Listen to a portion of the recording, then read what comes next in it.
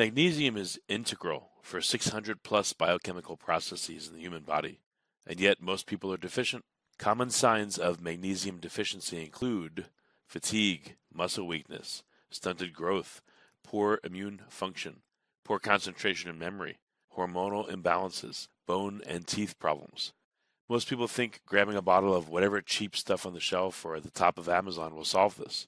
The common misconception is that consuming more magnesium will automatically improve health and well being. The truth is, there are various forms of magnesium, each of which is essential for a variety of physiological processes. Most people are deficient in all forms of magnesium, while even those considered healthy typically only ingest one or two kinds. Consuming all seven of magnesium's primary forms is the key to accessing all of its health benefits. That's why we pack seven forms of 450 milligrams of elemental magnesium into each serving of Wild Mag Complex. One dose a day is all you need. Learn more and grab a bottle today at wildfoods.co. Use code GENIUS for 10% off your order.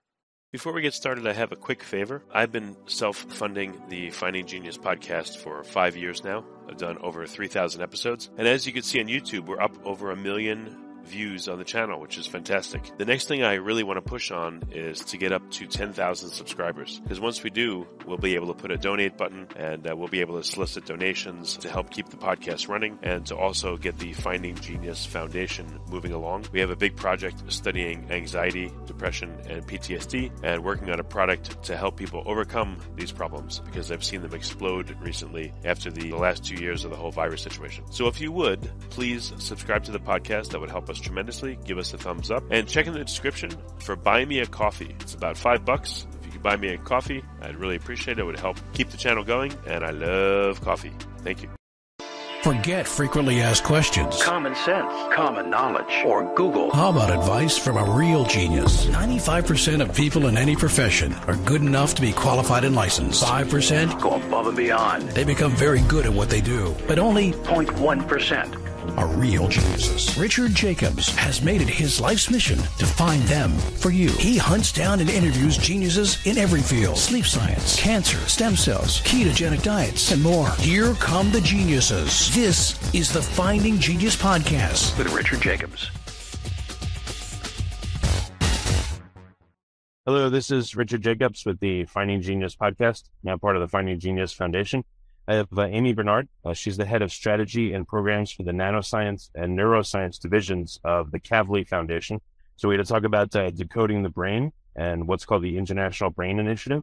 So welcome, Amy. Thanks for coming. Thank you so much for having me, Rich. It's great to be here. If you would tell me about uh, the foundation, what's its purpose, and then I want to ask you about uh, your background after that. Sure, absolutely. So, uh, the Kavli Foundation is a nonprofit research organization uh, we support science philanthropy, and uh, we actually do it ultimately to uh, support advances for the benefit of humanity. Our founder was Fred Kavli, who is an entrepreneur. He was a champion of supporting basic sciences and uh, like to remind people that everything we touch in our daily lives has been developed by or improved through basic research and science. And he'd actually selected four fields that he was really interested in himself and wanted to support uh, through his own philanthropy, which was in astrophysics, theoretical physics, nanoscience, and neuroscience, which he liked to call the big, the small, and the very complex. And he, he selected these areas because he believed they would provide the greatest opportunity for major scientific breakthroughs in the, the long range. Oh, interesting. Okay. So does the foundation provide scholarships for people researching in these areas, or how does it work? Yeah, that's a great question. So uh, we actually provide support for fundamental scientific research itself. So basic research at the level of actually uh, getting people in the laboratories and performing the science that will ultimately lead to breakthroughs. Uh, and so that's actually something that we like to, to really point out that people will oftentimes hear about the breakthroughs once it comes through as a, a, medicine or a particular, you know, explosive finding that you see in the New York Times. But a lot of the, the groundwork that happens for sometimes decades before is that basic research. So, so we help fund researchers at universities to do that work. Yeah, I, I, I guess uh, a lot of research is funded by NIH and uh, you know DARPA, et cetera. So how do you guys fit into the puzzle of uh, you know when someone wants to do research and they're seeking funding? Uh, when do you come into play versus let's say the big guys? Yeah. So what we really like is that we have a very kind of um, symbiotic relationship with a lot of those big federal funding agencies. They have, you know, obligations to the taxpayers. Um, they need to take on projects that are for national importance and sometimes a little more averse to risk.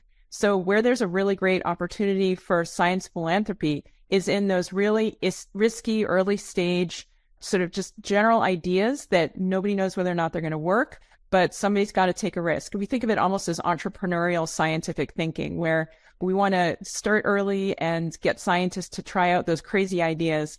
And sometimes the research that's funded by federal agencies can't take those risks. So mm. that's one of the ways that we sort of work together or complementarily um, to support basic science in the United States. And actually, we also support science at a global level. So we go beyond just federal funding in the United States and support basic science uh, around the world in countries around the world. So you have uh, specific separate scholarships or funding opportunities for each of the four areas, or like what are some examples of some of them? Yeah, so we actually fund uh, whole organizations called Kavli Institutes. Uh, there are 20 Kavli Institutes around the world that bring together groups of researchers that are innovators, um, you know, affiliated, of course, with universities and research centers who work together at these Kavli institutes. And we provide funding to those institutes. We also do provide um, research grants that are in the ways of projects that get proposed by researchers in certain emerging areas that are selected by us. And we have a, a bunch of different creative ways that we work collaboratively, either by talking with other funders or by pulling together researchers at convenings where we can really explore for those most exciting ideas and then provide support for those ideas. Hmm, okay. Um, when someone's do they work in research uh, long term as a career at a Kavli Institute, or are they at a university and they find out about the Kavli Institute and they do like um like a I guess a shared research between the university and the institute? Like how does it work? Yeah, so the the way that Kavli Institutes work is it pulls together faculty or researchers who are already at existing universities. So it's sort of uh, pulling them together under under essentially a shared umbrella of excellence. And these would be in our, our four different major fields. So in astrophysics, theoretical physics, nanoscience, and neuroscience, these are focus areas where each Kavli Institute would have that particular research focus. And then um, the faculty or the scientists at a particular organization would be in those those fields. So those are the institutes that we support. Um, and then we actually have a number of different ways that we support other kinds of science. Again, it's all about the impact. There are all these different ways that you can get exciting scientific ideas to happen. And so sometimes that is by funding the researchers directly, and sometimes it's by funding projects that may have, you know, changing researchers over time, different people. So it's really a, a multitude of different models, all just to enable the innovation that we really seek to accomplish. So, um, any examples of uh, a project in one in each of the four areas? Sure. So, uh, well, uh, there's so many things we've done. I think one of the things that's we're particularly proud of actually relates to uh, our involvement with the U.S. Brain Initiative. So, actually, the U.S. Brain Initiative, BRAIN, actually is an acronym that stands for Brain Research Through Advancing Innovative Neurotechnologies. And this was a, uh, actually something that was announced during the Obama administration in 2013. There was a whole partnership of both the federal government as well as a number of different private organizations like us, where we recognize the goal of supporting the development and application of innovative technologies specifically for creating an understanding of the brain. And this was years of meetings that we'd had where diverse organizations were recognizing that not each one could go at it alone, but this was a, a shared goal and working together as an organization collectively to prioritize and identify the biggest questions and how to tackle them was really ultimately going to be necessary to figure out how how the brain works. So um, we were involved very early on by assembling some key scientists from around the world to identify what those questions were, and then to really get forward on a strategy for finding funds to do that. And to date, there's literally been, you know, billions of dollars com- combined between private and public funding that goes to the U.S. Brain Initiative. And in fact, the US Brain Initiative has been so successful in providing a groundwork for researchers to work toward understanding the brain that there are other international initiatives that formed as well. So a number of other different countries formed their own um, sort of focus on neuroscience research. And these countries even came together into what we're calling an international brain initiative, which was essentially a forum, almost like a United Nations forum for identifying what the key questions are in neuroscience and then setting forth uh, approaches that that we could work collaboratively to tackle those by prioritizing funding in certain key areas. So that was right. something the the Kavli Foundation was involved in very early on, you know, as a participant and kind of helping helping that to shape and ultimately the service is much bigger than, you know, our participation alone. It's it's really uh, setting a groundwork for for a much um, broader objective than just our own. But what are, what are some specifics of maybe some of the research that's going on, you know, regards to the brain? Yeah, well, that's regarding the brain. There are a lot of different questions. Of course, it's a super complex organism um, in the sense that uh, the human brain itself is literally it's billions, over 100 billion neurons with 100 trillion connections. Each one of us has that in our heads. And so it's really a great mystery to figure out how does it work. Magnesium is integral for 600 plus biochemical processes in the human body, and yet most people are deficient. Common signs of magnesium deficiency include fatigue, muscle weakness, stunted growth, poor immune function, poor concentration and memory, hormonal imbalances, bone and teeth problems. Most people think grabbing a bottle of whatever cheap stuff on the shelf or at the top of Amazon will solve this. The common misconception is that consuming more magnesium will automatically improve health and well being. The truth is, there are various forms of magnesium, each of which is essential for a variety of physiological processes. Most people are deficient in all forms of magnesium, while even those considered healthy typically only ingest one or two kinds. Consuming all seven of magnesium's primary forms is the key to accessing all of its health benefits. That's why we pack seven forms of 450 milligrams of elemental magnesium into each serving of Wild Mag Complex. One dose a day is all you need. Learn more and grab a bottle today at wildfoods.co. Use code GENIUS for 10% off your order. In terms of just how does thought happen, how does the brain function as a, a system, and how is it built, and what can go wrong? And one of the major uh, challenges, I think, at the onset of the project that was identified is we literally didn't know how many cells there were in the brain and what all the different types were. So when you think about something like, you know, a kidney, people know roughly how many different types and categories of cells there are in a kidney and what they do, but we really didn't know what the diversity was in the brain. And so there was a, a concerted effort to go about and, and literally do an inventory of brain cells and multitude of different organizations worked on this together, including an organization I was previously at, which is the Allen Institute. And through a lot of work from many different teams, all working under this umbrella of the Brain Initiative, um, there are now uh, literally inventories of the cell types of the brain that are available that were not there before the start of the Brain Initiative. And so that actually gives us just a starting handle into understanding more about the diversity of the brain and then what those actual parts are and we're now just starting to figure out how those parts are linked together and ultimately, you know, how those are going to give rise to function.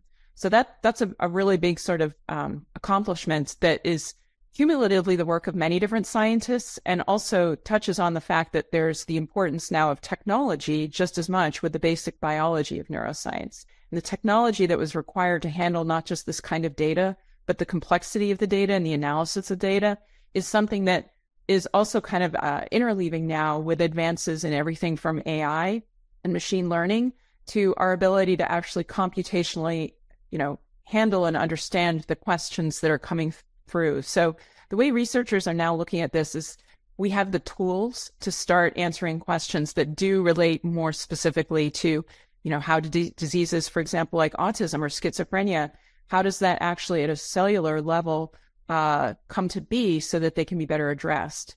And the multitude of ways in which researchers are addressing these are, you know, I mean, it's it's thousands and thousands of different researchers, each with their own unique question. But now starting to work with shared tools in a way that we can make more progress. Okay, so I mean, what are some of the interesting findings that you've seen so far? You talked about the composition of cells. Anything interesting come out of that, or some of the other ex- experimentation that you can comment on? Sure. So some of the really interesting things about the cells have to do with the diversity. I think that it really wasn't appreciated at the outset that there would literally be hundreds of different t- categories or types of cells that make up the brain. And that complexity, maybe it shouldn't be surprising because the human brain is so complex, but it's it's going to make it a little more challenging to understand what all the diversity of those cells are doing. And so that is work now, just even sort of as a, a new finding. It's the dimensionality of the problem. Um, it's, uh, you know, the, the brain itself is more complex than anybody had imagined, and people had already known it was pretty complex.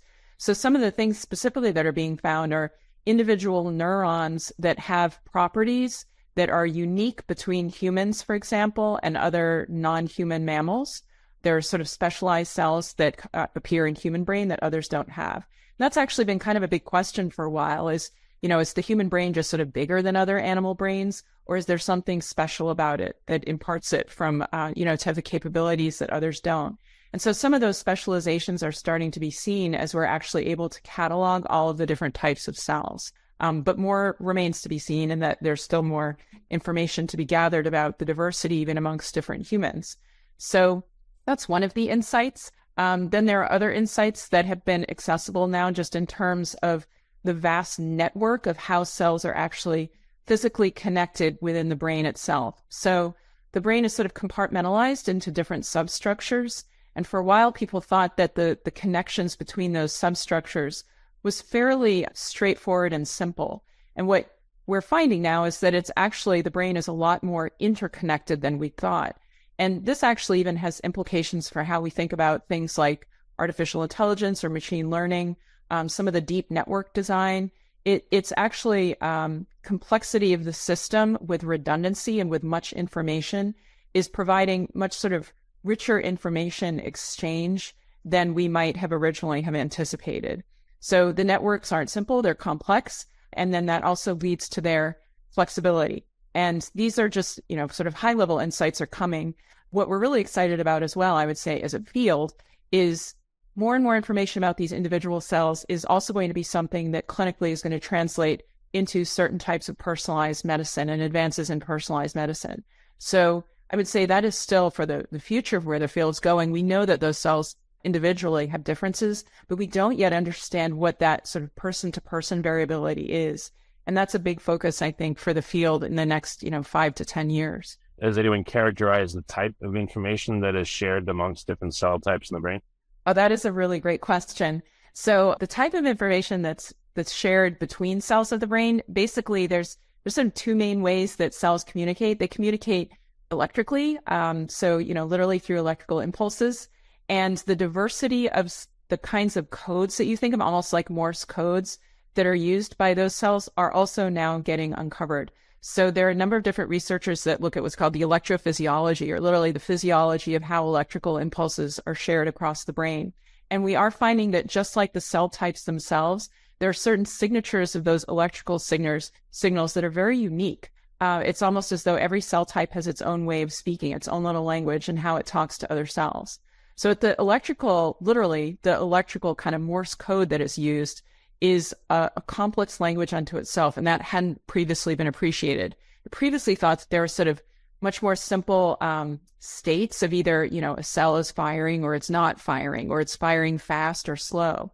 But the complexity of this kind of intercell cell communication is, you know, again, sort of theme here is a lot more complex. So, you know, that's exciting because it tells you that there is more nuanced information that can be shared between these cells. But it does mean now we have to uncover what all those different, you know, now that we know the language is complex, we have to understand the words, so to speak, and what the what that communication mode is. So there's certainly electrical communications that happen, but then there's other types of communications as well that are sometimes even reliant on cells that are not just neurons. So neurons are the kinds of cells that actually generate those electrical impulses.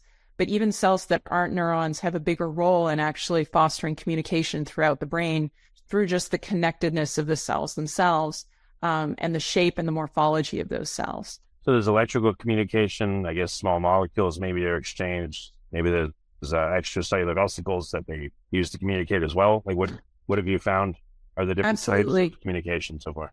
So those types of communications, in terms of the differential cell types, the electrical modes is just one of them. Um, there are also uh, so neural chemicals, peptides, um, basically neurotransmitters. So different small molecules that are exchanged between cells uh, or act as sort of instruction sets, instruction packets, and the complexity again of those is commensurate with the different cell types. So the cell types themselves, with that kind of complexity, we're seeing that each one has a different sort of type of cargo that can communicate and different rules. And so it's not just um, what the cell is sort of dumping next to the cell, you know, adjacent to it in terms of what that molecular cargo is, but it's very relevant as to what other cell types it is talking to. So literally the, the formation of synapses um, at the connection between one neuron and another neuron where they connect. The nature of that connection and the sort of uniqueness of that connection is actually another modulatory component for essentially gating how cells talk to each other throughout the brain.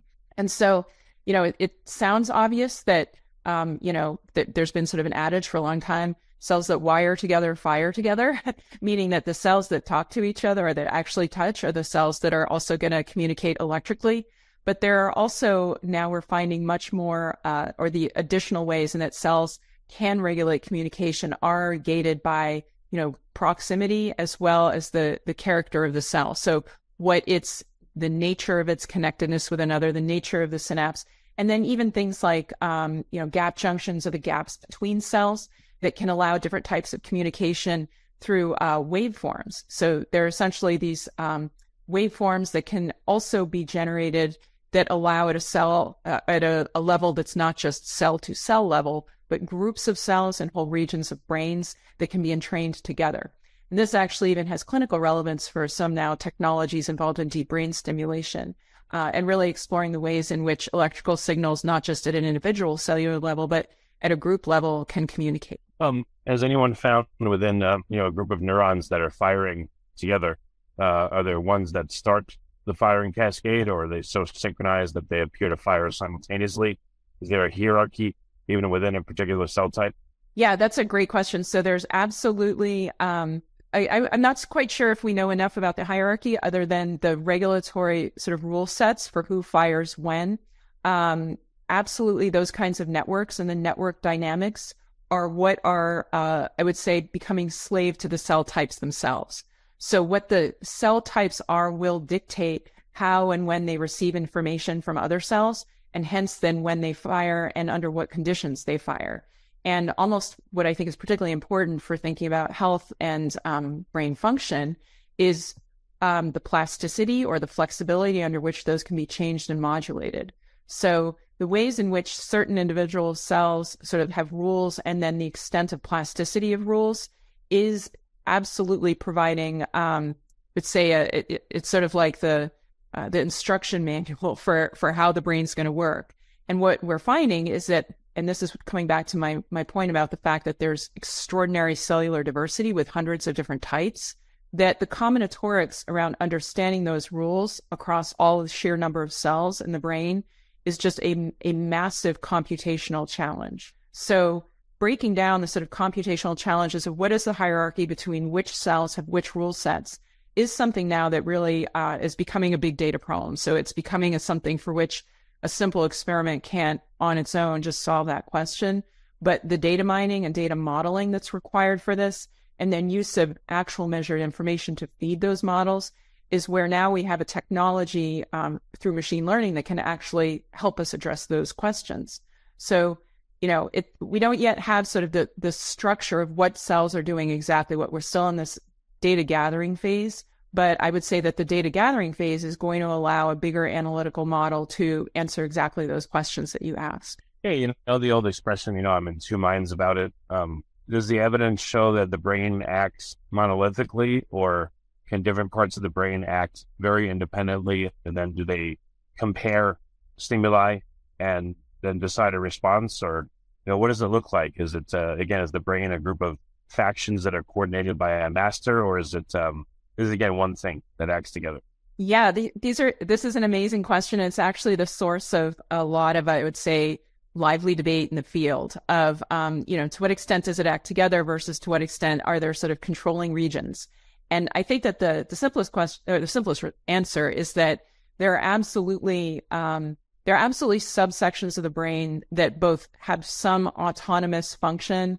Uh, for example, the cerebellum is a fairly autonomous structure in terms of its uh, its role and its capabilities, but they are all interconnected. And there has been a lot of question in the field about to what extent there are sort of master controller areas of the brain um, and to what extent that there is uh, changeability or adaptability across those functions. So if you think, for example, um, there's a structure called the claustrum in the brain, which is a very sort of small, focused structure that is extraordinarily highly connected with other uh, anatomical structures in the brain. And it is perceived that this structure then may have some sort of a regulatory or central regulator function but it's been very difficult to prove that experimentally for a variety of reasons. Where, um, you know, to have a to have a living system where you're essentially parsing that living system for dependency on a, a master structure is just it's a challenge. And so, uh, researchers have been creating um, pretty creative systems for for uh, uncoupling subfunctions of that structure with dependency and readout for implications on the whole brain. And even when you think about something as fundamental as consciousness, you know, how is the brain conscious? What does that mean? And how is that regulated? It actually comes back to questions of sort of what, what is the controlling mechanism for the brain itself? And, and it actually turns not just into a practical scientific question, but almost a philosophical question. You can, you know, you can ask about central brain function for somebody, say, who is cognitively or what they might refer to as clinically brain dead, where their bodily functions are functioning, they're breathing maybe, their heart's beating, but they may not actually have any brain waves left that are that are indicating cognitive thought and thought processes.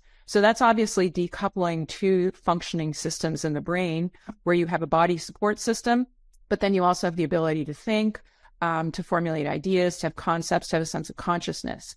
And so we know those things can be decoupled, but the extent to which there is uh, sort of unifying alignment between them is actually it's a much bigger question, and and that's where you know understanding more of these sort of circuit dependencies and what each of the different cells' capabilities are. Uh, you know, I think we'll get there, but we're not there yet. Okay. Well, very good. Um, what's the best place to go to to see an overview of the research? And if someone's listening that is at an institution or at a university, uh, you know, how can they find out about what grants are available, what activities, and see if the, you know that lines up with what they do. Where can people go? Yeah, that's a, a great question. How do people get funding? So um, there are a number of different places. I mean, certainly for I would say things related to the U.S. Brain Initiative. There's a, a Brain Initiative Alliance website. Uh, I don't know if we can post it somewhere, but the Brain Initiative Alliance actually is a number of different federal and non-federal partners, all of whom support Brain Initiative related funding. And each one has their own slightly different way that they fund. So it's it's worthwhile to sort of see that in aggregate. The US federal government provides a really comprehensive database of what US federal grants are available. Um, and that's something for which researchers are very familiar. There's then other ways in which, um, particularly organizations that have a, a, research focus in a certain area of disease, for example, have their own ways. For the Kavli Foundation, we actually have a, a novel approach that we use um, where we're more inspired by the questions themselves and use those questions to identify on our own where can we deploy funds that are going to be going toward um, really exploring a new question. So we don't have the same kind of request for proposals that, for example, a big federal organization like the National Institutes of Health might have. But those uh, sort of funding aggregators, particularly supported by NIH, are really good places to look. Okay, very good. Um, any other resources for listeners, or is that plenty? I think that you know resources for listeners are that there's so many different ways of actually getting involved in neuroscience, either just because you're curious about the questions, or because there's the opportunity to enroll in a research study, or to volunteer, um, to participate. And you know, I think of ne- neuroscience in particular as a is something that touches everybody in some way, way, shape, or form. And for people to feel that this is a, a sort of participatory field for them um, rather than something that's just being done by scientists in their labs is really actually going to be necessary for the field to move forward and is a lot of fun because there's a lot to learn. Well, very good. Amy, thank you so much for coming on and explaining about the, the, the Kavli Foundation and uh, all the all the work that you guys are doing on the brain. So thank you. Thank you. Thank you, Rich. I really appreciate it. And I appreciate the time that you had to talk with me.